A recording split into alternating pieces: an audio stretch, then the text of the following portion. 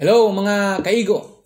Uh, mga kaigo, gusto ko lang pong uh, i-shout out or i-congratulate lahat po ng passers nung nakaraang December 2022 Criminologist Licensure Examination.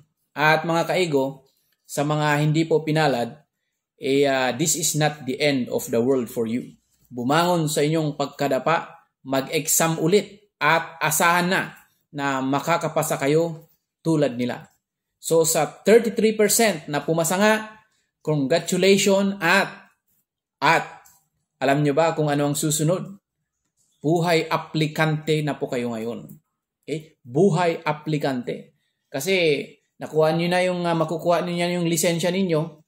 Siyempre, mag-apply kayo kung sa PNP, BFP, BGMP, or other law enforcement agencies, or public agencies, private agencies, or other na gusto nyong uh, pasukan. Kaya good luck sa another chapter of your life.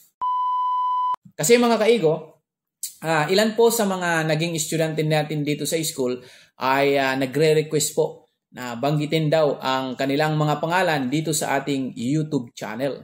Uh, by the way mga kaigo, sa mga hindi po nakakaalam, Connected po tayo dito sa PLT College of Ginubatan Incorporated. Matatagpuan po dito sa San Francisco, Ginubatan, Albay. Dito po sa Bicol Region. Uh, nakalahati naman ang uh, pumasa dito. Ang aming rating is uh, 52.94%. Okay? Uh, which is higher than the national rating uh, na 33%. So ito na mga kaigo uh, i-shout out na natin ang kanilang mga pangalan, yung mga PLTians na pumasa nung nakaraang board exam. Unahin natin si Criminologist of Femia Dan Gabriel. Mga kaigo, ito po yung uh, chief intern nila nung nag-OGT pa ang mga nung intern pa sila. Siya yung pinaka-leader nila. Okay? So, pasado. Susunod, si Belmes Vance Ray. Si criminologist Belmes Vance Ray. Criminologist Divina Flor Albert criminologist Fronda Dorilin, criminologist Fuentes Vincent Emanuel, criminologist Notob Jomel, and criminologist Orobia Rex. Mga kaigo, ito po may uh, TikTok uh, account po. I-follow nyo, ito po yun. Serex uh, BR Cream. Okay.